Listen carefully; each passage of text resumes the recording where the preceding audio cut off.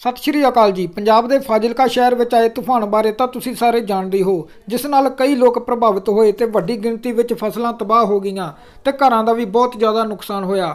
ਪਰ ਤੁਹਾਨੂੰ ਜੋ ਹੁਣ ਦਿਖਾਉਣ ਜਾ ਰਹੇ ਹਾਂ, ਉਹ ਕਹਿਰ ਦੇਖ ਕੇ ਤੁਸੀਂ ਹੈਰਾਨ ਰਹਿ ਜਾਓਗੇ ਜਿਸ ਨੇ ਕਰੋੜਾਂ ਲੋਕਾਂ ਨੂੰ ਪ੍ਰਭਾਵਿਤ ਕਰ ਦਿੱਤਾ ਤੇ ਕਈ ਘਰ ਉੱਜੜ ਗਏ। ਇਹ ਤਸਵੀਰਾਂ ਅਮਰੀਕਾ ਦੀਆਂ ਹਨ।